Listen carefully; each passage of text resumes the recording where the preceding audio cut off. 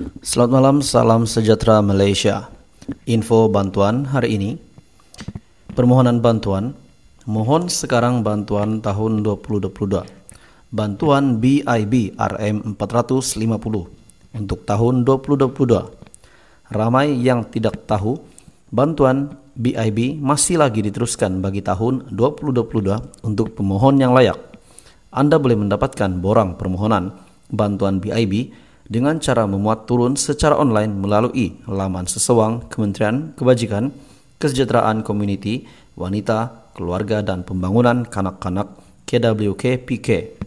Berikut merupakan info lanjut berkenaan bantuan bersalin, syarat-syarat dan cara membuat permohonan. Apakah bantuan ibu bersalin BIB?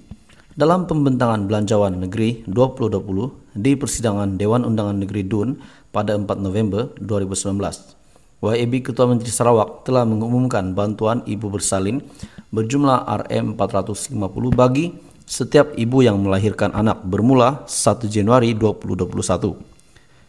Bagian pembangunan awal kanak-kanak Kementerian Kebajikan, Kesejahteraan, Komuniti, Wanita, Keluarga dan Pembangunan Kanak-kanak telah dipertanggungjawabkan untuk menguruskan bantuan BIB ini. Syarat permohonan yang pertama mestilah warga negara Malaysia, yang kedua ibu yang memegang kad pengenalan Sarawak yaitu berstatus K ataupun istri kepada pemegang kad pengenalan Sarawak berstatus K yang bermaksud Sarawak Connection. Yang ketiga, mestilah melahirkan anak di dalam ataupun luar Sarawak.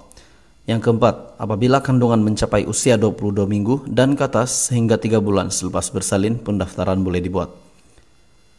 Dokumen diperlukan, salinan kad pengenalan ibu, salinan kad pengenalan pasangan atau penjaga, salinan sijil perkawinan, salinan buku rekod kesehatan ibu, salinan buku account, penyata account, salinan nota discharge atau sijil lahir bayi. Untuk pengetahuan lanjut ataupun maklumat lebih lanjut, Anda boleh search di Semakan Online. Permohonan bantuan ibu bersalin tahun 2022 mohon sekarang.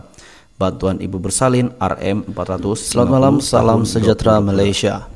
Info bantuan hari ini Permohonan bantuan, mohon sekarang bantuan tahun 2022.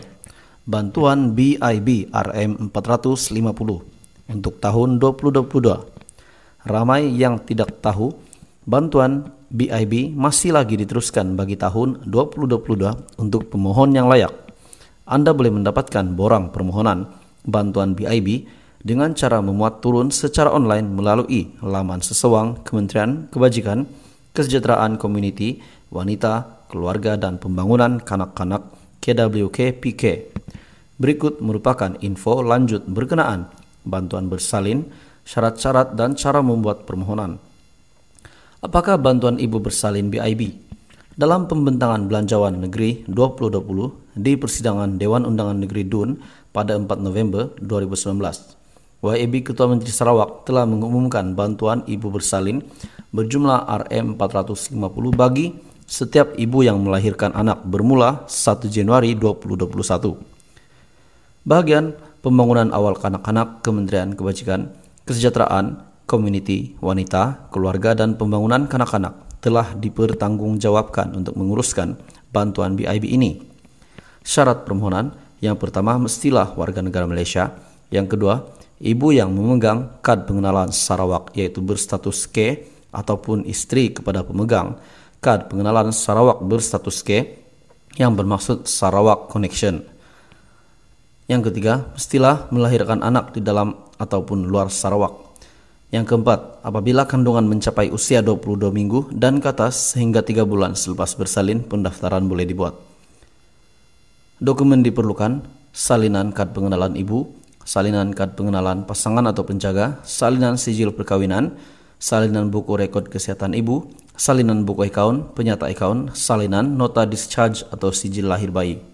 Untuk pengetahuan lanjut ataupun maklumat lebih lanjut, Anda boleh search di Semakan Online. Permohonan bantuan ibu bersalin tahun 2022 mohon sekarang. Bantuan ibu bersalin RM 450 tahun 2022.